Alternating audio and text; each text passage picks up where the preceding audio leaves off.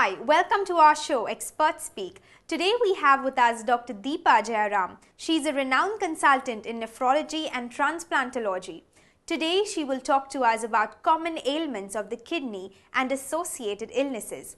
Doctor, what are the other problems associated with kidney disease? Kidney disease can in general be classified as an acute kidney uh, disease or chronic kidney disease. By definition, um, if you have any structural or functional uh, damage to your kidney function which has been present for more than or equal to 3 months, then it is diagnosed as chronic kidney disease. Uh, there are multiple causes for chronic kidney disease, but by and large, uh, almost uh, two thirds of the cases are due to uh, presence of hypertension, which is high blood pressure, and diabetes mellitus, because these two are the main risk factors for subsequent chronic kidney disease.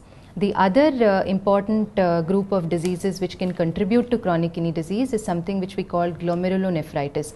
In simple words, what it means is glomerulus and nephritis. Glomerulus is the filter or the functioning unit of the kidney uh, wherein the blood gets filtered and all the waste materials are removed. And when these filters get inflamed and damaged, it's called glomerulonephritis. And there are a variety of causes for glomerulonephritis. Now, this again contributes to a large chunk of uh, chronic kidney disease. Uh, other than these, there are other factors like certain autoimmune diseases where your body's own self defense system starts to act against you. For example, a condition called lupus or systemic lupus erythematosus. In this condition, also you can get chronic kidney disease. Um, there are certain inherited diseases uh, which runs in families because of genetic predisposition. For example, polycystic kidney disease.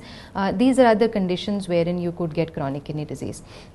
The other uh, factors would include uh, any condition where there is obstruction to the flow of urine from the uh, kidney. For example, if the person has uh, uh, recurrent stones in the kidney, that can also predispose uh, him or her to developing chronic kidney disease.